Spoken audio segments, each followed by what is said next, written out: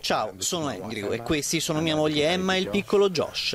Si presenta così alle telecamere del Daily Mirror quest'uomo di un piccolo paese nei pressi di Cambridge, Gran Bretagna. Quello che sembra un felice quadretto familiare nasconde però una storia tormentata iniziata qualche mese fa, quando fu comunicato loro che uno dei due gemelli dei quali erano in attesa, la femmina, era priva di una parte del cranio e del cervello. Nonostante ciò i genitori hanno voluto portare avanti la gravidanza.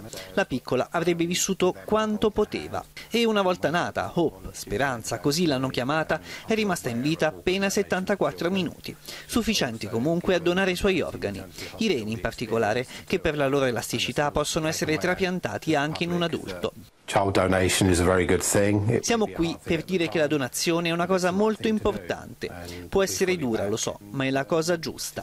In effetti c'è stato un momento che ha fatto vacillare papà Andrew, quando Hope è riuscita a toccare il mio dito e a stringerlo un po', ammette.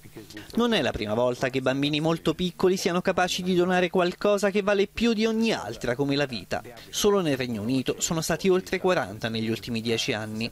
E proprio da un caso analogo, quello di Teddy, che lo scorso aprile era vissuto appena 100 minuti, ha preso corpo la decisione di mamma Emma.